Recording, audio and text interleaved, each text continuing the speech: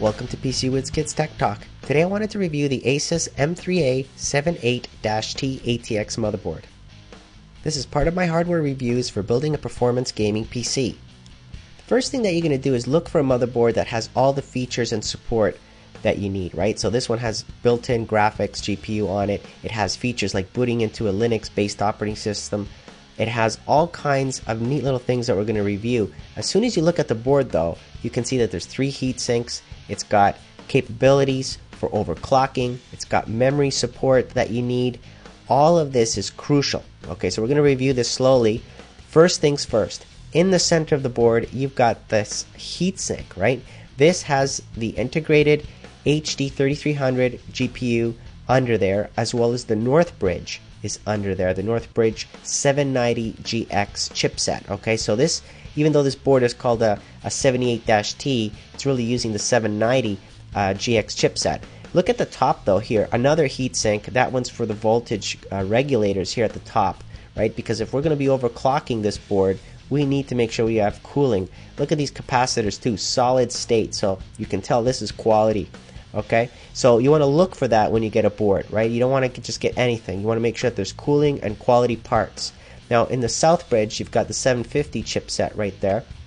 That one also has a heatsink, not as big, right? Because we don't need to have a really big heatsink for that, but it's got the cooling on there as well.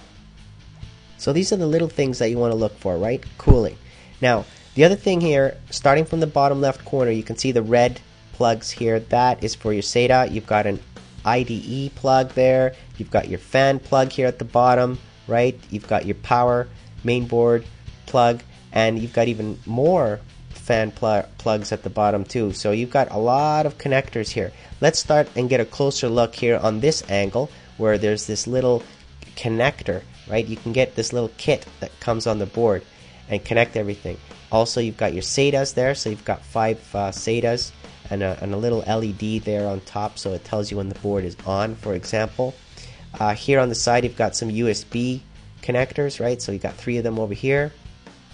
And um, right over here behind it, actually, is the um, uh, controller for the um, Firewire. So that's your Firewire 400, the 1394A uh, module there.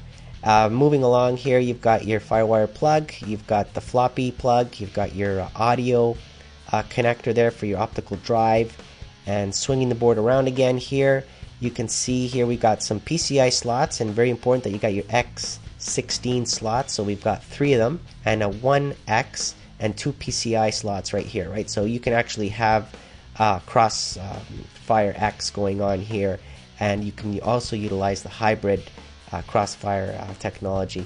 Here on the other side, we've got a couple more controllers for the uh, sound and the uh, LAN. So the sound is actually using HD 7.1.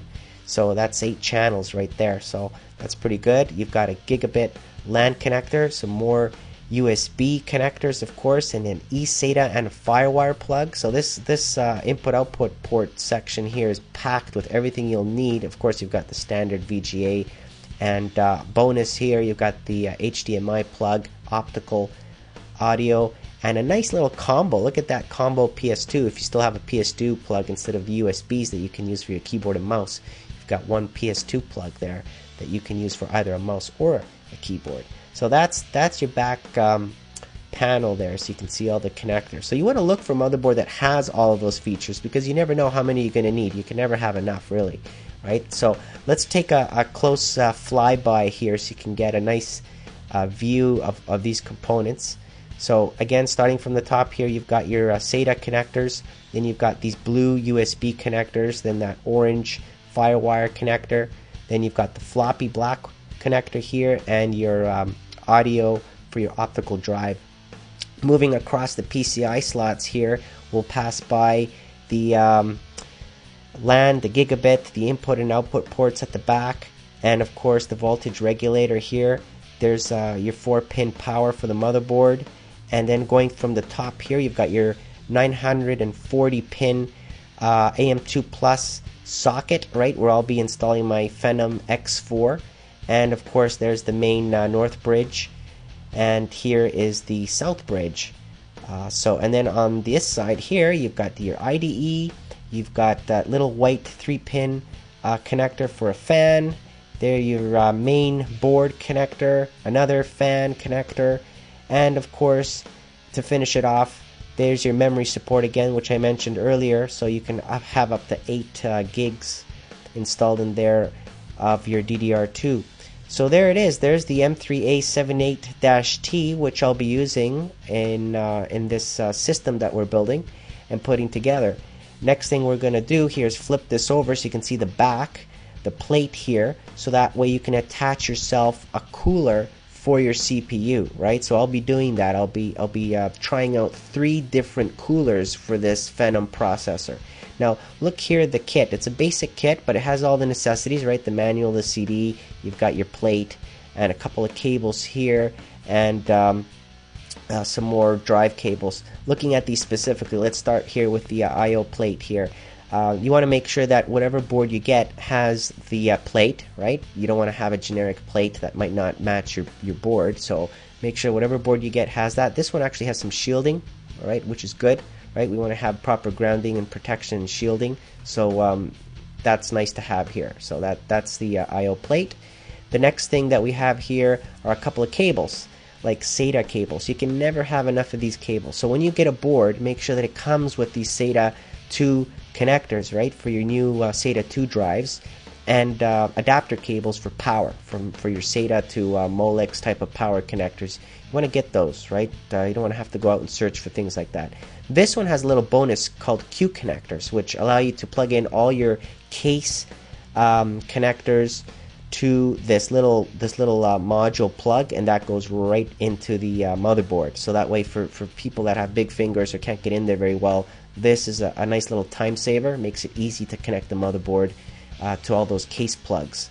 Um, more more cables here right? More uh, SATA um, right angle cables which are very nice to have these data data cables and power cables that um, that they provided. So you can never have enough of these right? So there's there's some more of that, and of course another power um, Molex to uh, SATA uh, power. So can never have enough of these guys. So that's great. So that's the basics. Uh, most boards come with these. Some come with even more than that, right? But uh, for the price point of this board, you're getting you're getting a decent amount. And of course, let's not forget about the uh, regular IDE drives, right? Because everybody might still have uh, IDE drives these days, so we still have to have these uh, these cables.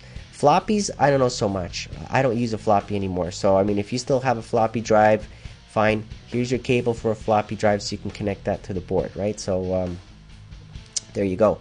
That's the package right there. So, it's a pretty complete package. I definitely recommend this for the price. So, it's definitely a, a keeper.